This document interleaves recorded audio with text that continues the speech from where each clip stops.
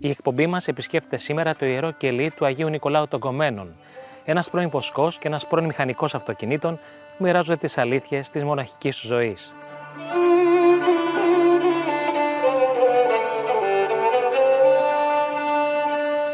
Παπαγιώργη, τι ετοιμάζεις; Ετοιμάζω πιπεριές γεμιστές για αύριο πρώτα ο Θεός με τυρί. Στο φούρνο θα τις ψήσουμε. Επειδή σήμερα είναι Τετάρτη, φτιάξαμε ημάμ σήμερα και αύριο θα κάνουμε πιπεριές. Σ' αρέσει Θα μαγειρική. γεμίσω. Δόξα τω Θεώ. Μαγειρεύει συχνά; Μαγειρεύω, αλλά έχουμε και, έχω και την Αθωνιάδα που πάω καθημερινά. Δουλεύω σαν μάγειρα στην σχολή Αθωνιάδα Εκκλησιαστική Ακαδημία. Κάποια από αυτά τα παιδιά που έρχονται στην Αθωνιάδα θα γίνουν μοναχοί. Τι τους συμβουλεύετε εσείς; Υπακουή. Να μάθουν να κάνουν υπακουή στη ζωή τους και υπομονή. Η καλογυρική έχει αυτά τα δύο πράγματα. Δεν πρέπει να έχεις θέλημα. Το θέλημα κάνει κακό.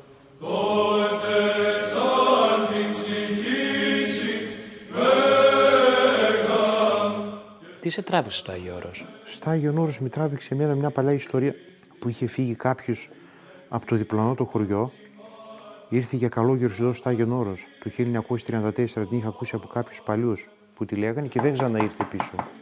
Ήθελα να δω τι είναι αυτό το Άγιον Όρος και όταν ήρθα πρώτη φορά με τράβηξε και εμένα. Τι είναι το Αγίο Όρος για σένα; Το μεγαλύτερο πράγμα. Δεν υπάρχει μεγαλύτερη χαρά το να έρθει στο Άγιον Όρος για καλόγερος. Εγώ έτσι αισθάνομαι. Μας έχει η Παναγία εδώ βασιλιάδες. Πόσα χρόνια είσαι εδώ; 20 χρόνια έχω τώρα, έχω συμπληρώσει. Και πάλι αν ξαναγεννιόμουν δηλαδή, πάλι καλόγερος θα γινόμουν. Πριν τι ήσουν; Πριν τι ήμουν, βουσκούσα ζώα στο Ναι. χωριό. Τι σου είπαν οι δικοί σου τότε; Ε, Με είπαν με το καλό να πάω. Με δώσαν την ευχή τους που είναι το μεγαλύτερο πράγμα. Και αυτό το πράγμα βοηθάει πάρα πολύ στην καλογερική και γενικά σε όλα τα πράγματα. Και στο γάμο βοηθάει η ευχή των γονιών που λέμε. Πατέρα Παΐσιε, τι ακριβώς κάνετε; Σφραγίδες προσφόρου. Το εργοχειρό σας; Το εργόχειρό μας, ναι. Τι σχεδιάζετε; Ε, σχεδιάζεις εδώ τον αμνό, η Παναγία, τα τάγματα, οι ακτίνες. Από πότε; Από τότε που ήρθα στην καλογερική. Αυτό έμαθα. Πότε Και- ήρθατε στην Καλογερική; Το 2010 ήρθα. Σαν δόκιμος και είμαστε μαζί με τον Γέροντα από τότε. Εδώ σε αυτό το κελίο.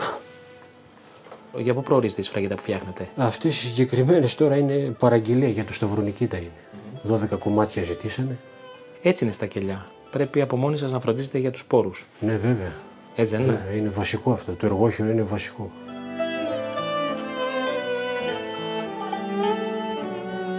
Πώς το μάθατε; Το πρώτο είναι βασικά ο γέροντας να, να μάθουμε αυτό το εργόχειρο. Και το έμαθα στα καυσοκαλύβια συγκεκριμένα.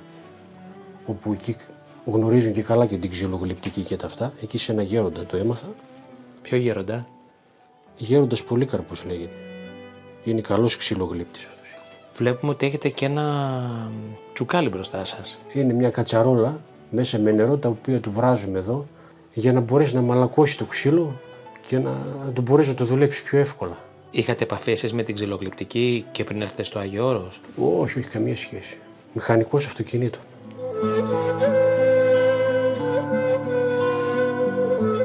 Γιατί σε κελί και όχι σε κάποια σκήτη ή σε μοναστήρι; Γιατί τόσα χρόνια είμαι ελεύθερος, είμαι βουσκούσα ζώο και δεν μπορώ να κλειστώ.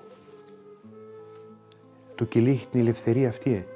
Από τα θέματα που σου θέτει ο κόσμος, οι προσκυνητές που έρχονται και μένουν εδώ στο κελί σου, τι είναι αυτό που τους απασχολεί περισσότερο; Ακούω ότι σήμερα ο κόσμος είναι, έχει άγχος πολύ. Άγχος, αγωνία, το τι θα γίνει το ένα, το τι θα γίνει το άλλο. Γιατί έχουμε ξεφύγει από το Θεό. Δεν είναι να αφήνουμε τα πράγματα στο θέλημα του Θεού. Κύριε σου Χριστέ ο Θεός λύσουν και σώσον εμάς. Αμήν. Καλώς ορίσατε και καλή μας όρεξη. Θα σας λέγανα. Και πώς και ήρθατε στο Άγιο Όρος, τι σας ε, έφερε; Ε, Η αγάπη προς το Θεό αυτό και στην Παναγία. Πάντα με άρεσε το Άγιο Όρος, το αγαπούσα ε, και πήρα την απόφαση να έρθω πλέον μόνιμα. Είναι πιο εύκολο να φτιάχνεις φραγίδες ή πιο δημιουργικό από το να επισκευάσεις αυτοκίνητα; Ε, ναι, εννοείται. Αυτό είναι κάτι για, ας πούμε, για, που κάνεις για το Θεό, για τη λατρεία του Θεού. Είναι σημαντικό. Να το πάρει τώρα, ας πούμε, η νοικοκυρά και να σφραγίσει με αυτό. Μόνο που το φτιάχνεις εσύ, ας πούμε, είναι κάτι μοναδικό. Ε, και δόξα τω Θεώ όσο μπορούμε και όσο θα έχουμε δυνάμεις και μας το επιτρέπει ο Θεός, θα κάνουμε.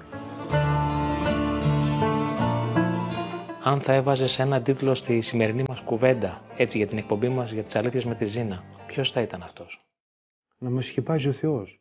Το κυριότερο πράγμα, η Παναγία, να έχουμε την ελπίδα μας στην Παναγία, που είναι μάνα μας και μας σκεπάζει συνέχεια, μας προστατεύει, όπως είναι μια μάνα σκεπάζει τα παιδιά. Και το κυριότερο πράγμα είναι να προσπαθήσει ο κόσμος να πλησιάσει το Θεό.